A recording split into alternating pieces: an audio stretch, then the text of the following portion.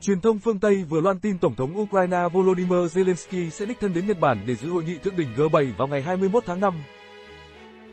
Bloomberg và tờ Financial Times dẫn các nguồn thân cận với kế hoạch cho biết Tổng thống Volodymyr Zelensky sẽ đến thành phố Hiroshima của Nhật Bản để gặp gỡ trực tiếp các nhà lãnh đạo G7. Reuters dẫn lời một nguồn tin từ Liên minh châu Âu, EU, cũng tiết lộ thông tin này. Ukraine chưa lập tức bình luận về những thông tin này. Trước đó, chính phủ Nhật thông báo, Tổng thống Zelensky sẽ tham dự hội nghị thông qua hình thức trực tuyến, theo lời mời của Thủ tướng Fumio Kishida khi ông đến thăm Kyiv hôm 21 tháng 3.